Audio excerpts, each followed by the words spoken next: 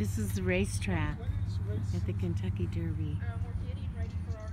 Do you know that it started in 1875? Isn't that amazing? Last year there was 177,000 people here in these grandstands.